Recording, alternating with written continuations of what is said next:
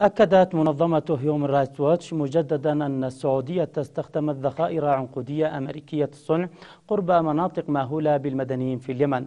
وفي بلاغ صحفي طالبت هيومن رايتس واتش الولايات المتحدة بالكف عن إنتاج ونقل الذخائر العنقودية التزاما بالحظر الدولي على هذه الأسلحة. وأشارت إلى أن قواعد التصدير الأمريكية التي تعتمد على معايير موثوقة الأسلحة لم تحل دون بيع الذخائر العنقودية للسعودية ما عرض المدنيين للخطر على المدى البعيد. وأوضح مدير قسم الأسلحة وحقوق الإنسان في هيومن رايتس واتش ورئيس تحالف الذخائر العنقودية ستيفن غوس أن الولايات المتحدة باعت للسعودية ذخائر عنقودية وهو سلاح رفضته أغلب الدول بسبب الضرر الذي يسببه للمدنيين. وأضاف على السعودية الكف عن استعمال الذخائر العنقودية في اليمن وأية أماكن أخرى. وعلى الولايات المتحدة أن تكف عن إنتاج وتصدير هذه الأسلحة.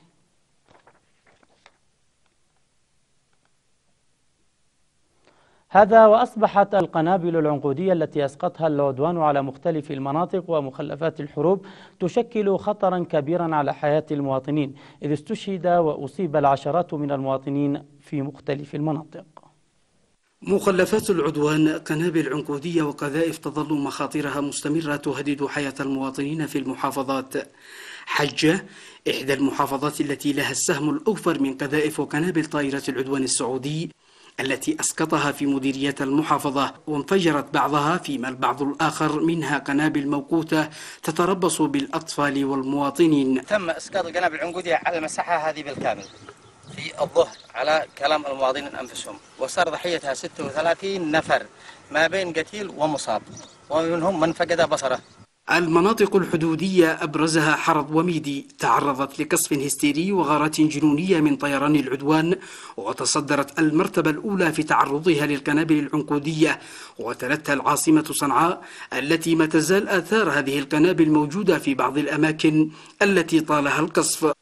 هذه المخاطر قبلت بدورات تدريبية مختلفة. كان آخرها تدريب ل 33 متدربا نظمها المركز التنفيذي للتعامل مع الألغام حرصا على تثقيف المجتمع بخطورة المتفجرات ومخلفات الحروب في ست مديريات من محافظة صنعاء.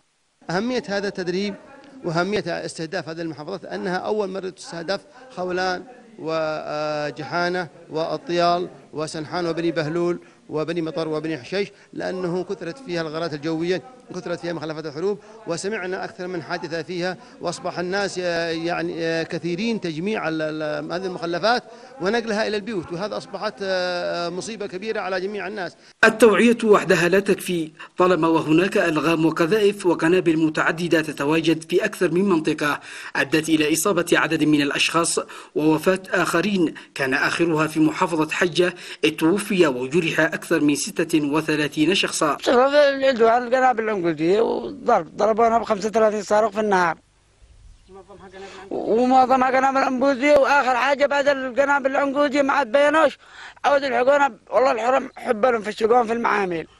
ضحايا هذه الألغام والمتفجرات يزداد يوما تلو آخر ويستوجب على المعنيين تكثيف جهودهم في التعامل معها لتجنيب المواطنين العواقب الوخيمة ومخاطر الموت. مختار الخطيب اليمن اليوم.